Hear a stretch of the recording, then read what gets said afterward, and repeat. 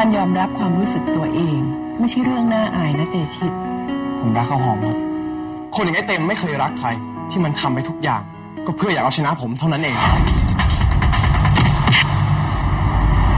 ไม่ว่าฉันจะทำอะไรให้เธอ มันไม่เคยดีในสายตาเธอเลยใช่ไหม ใช่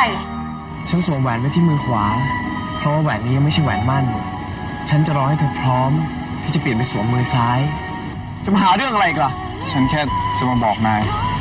ว่าฉันแพ้แล้วน่ารักลวงใจ